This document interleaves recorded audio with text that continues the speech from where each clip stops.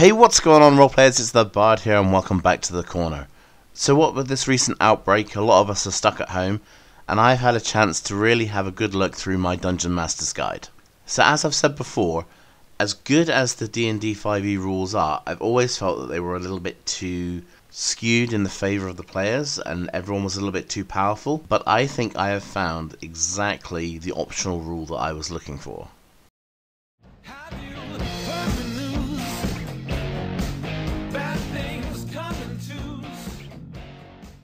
So some of you may already be familiar with this, but for those of you who aren't and are looking for a new challenge, I think you're going to be in for a treat here. In the Dungeon Master's Guide, there's a section that says Adventuring Options, and on page 267, there's a section called Rest Variants. And one of these variants is called Gritty Realism. So the whole thing goes like this. This variant uses a short rest of 8 hours and a long rest of 7 days. This puts the brakes on a campaign requiring the players to carefully judge the benefits and drawbacks of combat. Characters can't afford to engage in too many battles in a row, and all adventuring requires careful planning. This approach encourages the characters to spend time out of the dungeon. It's a good option for campaigns that emphasize intrigue, politics, and interactions among other NPCs, and in which combat is rare or something to be avoided rather than rushed into.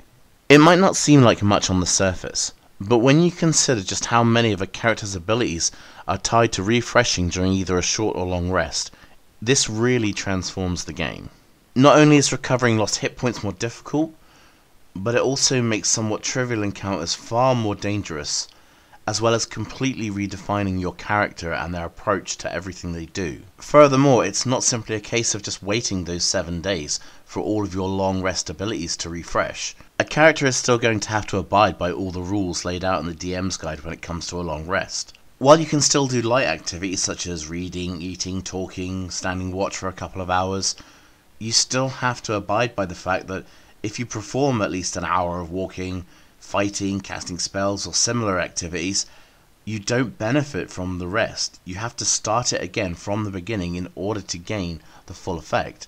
This means seven days practically in isolation, where you're not doing anything, not interacting with anyone, and not risking the opportunity where you could potentially have to restart your rest again from the beginning. So, with all those things in mind, let's delve back into the characters, have a look at some of their abilities, some of their special functions and archetypes, and see just how much this optional rule changes things for them.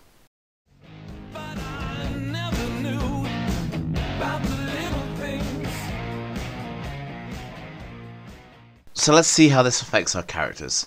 We'll use the wizard as an example. So the Gritty Realism rule is going to be a big one for the wizard.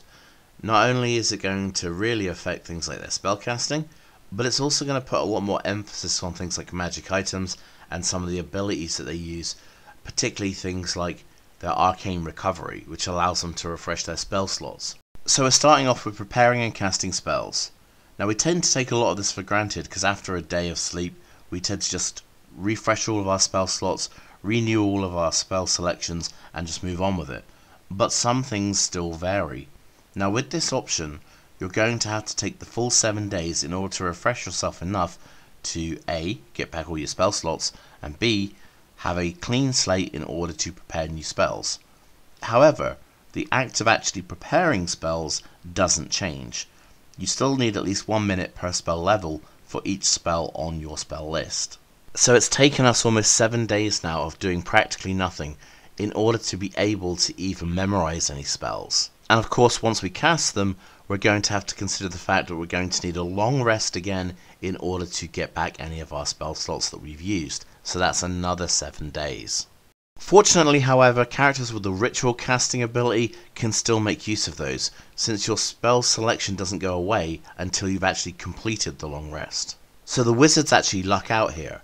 They're doing very well in the sense that they only need their book available in order to cast ritual spells, unlike characters like clerics, for example, who would need to have their spell prepared in order to use it as a ritual. So with only adding 10 minutes to the casting time, ritual spells are going to be vital for any character with that ability. Even though it's cast at its lowest level, it's still going to provide some form of utility magic for the rest of the party, so at least there are going to be options where you're not completely going to run out of things that you can do. Cantrips really rise in importance as well, considering the fact that they don't require any kind of spell slots or any kind of rest in order to use. But you're going to have to really think about which ones you take, considering you're going to be relying on them so much more because you don't have as much access to your general spell selection. So your arcane recovery is also really important, and it really gets changed by this variant. So once per day after a short rest, you're allowed to regain some of your spell slots equal to half your level. Now, considering the fact that with this variant, you're only going to be able to get a short rest after 8 hours, what this essentially means is that each day after you rest, you'll be able to get back some spell slots, but only a small fraction of them. This means that this ability goes from something that you, in some cases, may rarely ever use, to something that becomes vital usage every single day. At level 18 you get your Spell Mastery. Fortunately this is an ability that doesn't actually change very much, but there are still things you need to note about it. For example, you still need to have those spells prepared even to cast that level 1 and level 2 spell at will. Changing your spell mastery spells still requires 8 hours of study. However, if you change those spells to something that you don't have prepared, you're going to have to take the full long rest in order to be able to prepare those spells in order to cast them at will using the spell mastery ability. So if you aren't careful about what it is you're picking, then you might find yourself having to take a long rest in order to get access to spells that you should be able to cast at will. And finally, at level 20, you have your signature spells. You gain two spells, both of which have to be third level, and of course, you always have these spells prepared, and you can cast each of them after a short or a long rest. So, even if you've run out of spell slots, you still have a couple of options here as well, although they're not quite as flexible as before. Again, every time you finish a short rest, which in this case will be the full 8 hours, you'll get those abilities refreshed as well.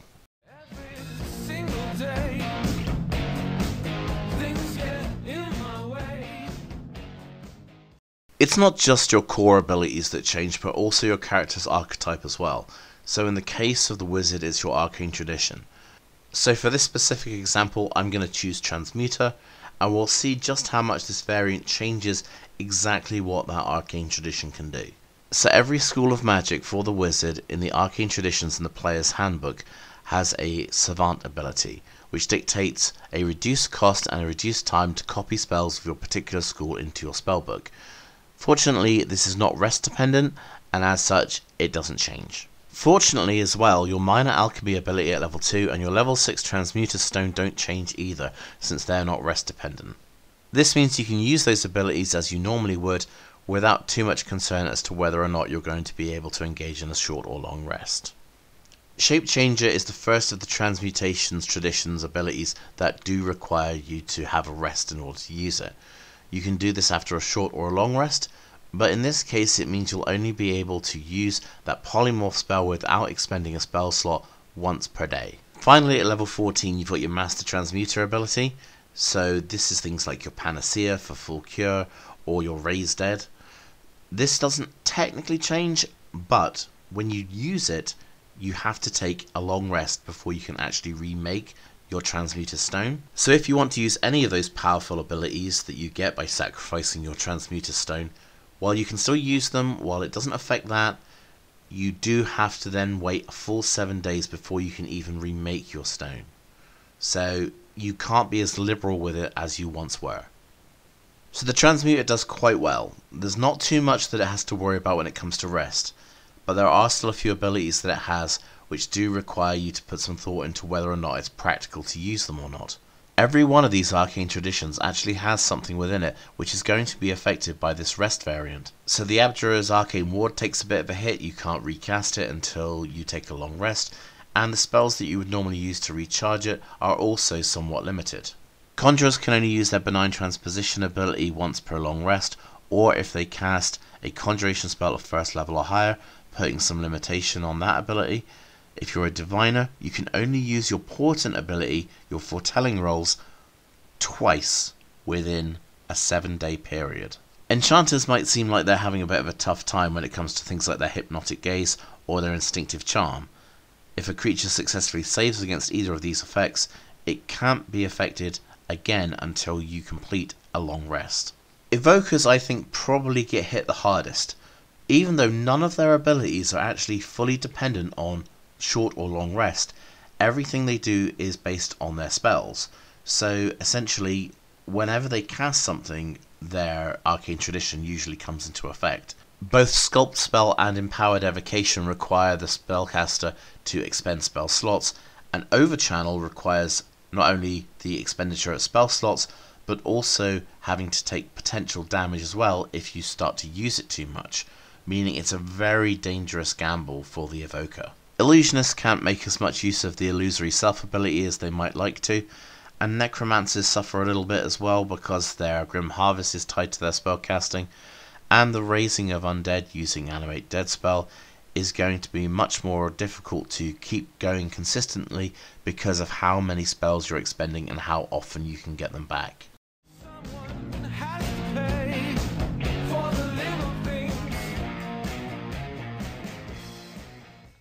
So I'd really like to try out this rest variant. I think it's one that I'm going to trial, and if it's not hindering the gameplay too much and the players are enjoying the challenge, then I think I would like to use it a lot more often. Again, this is something that completely changes the dynamic of the game. Not only that, it changes fundamentally what your characters can and cannot do. Something I'm also intrigued about is the viability of certain archetypes. Most people wouldn't normally look at the champion, but considering none of the champion's abilities are affected by the short or long rest, it's something that becomes a lot more viable within this context of a variation to how your characters recover. Compare this to someone like an Eldritch Knight who's also going to have to worry about their hit point total as well as the fact they've got their spell slot expenditure and many of their later abilities are tied to spell casting as well. So in order to use those they're going to have to be dipping into their resources and an Eldritch Knight doesn't have that many spells available to them. This thing was just hidden away in a dusty little corner in the Dungeon Master's Guide, so I'm wondering just how many people know it was there. Did any of you already know about this optional rule? And if you did, have you managed to implement it? And how did it go? Tell me in the comments below. Did this rule cause your characters or your players to have to up their game and become master tacticians? Or did it just completely grind everything to a halt?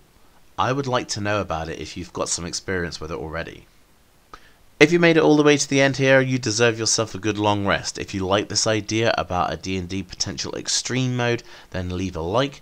If you've got anything to say on the subject, there are the comments down below. If you're new to the channel, there's a subscribe button just waiting to be clicked. And if you'd like to be notified about anything else that pops up from this channel, then click the notification bell as well. And with all that being said, I will see you guys next time at the gaming table.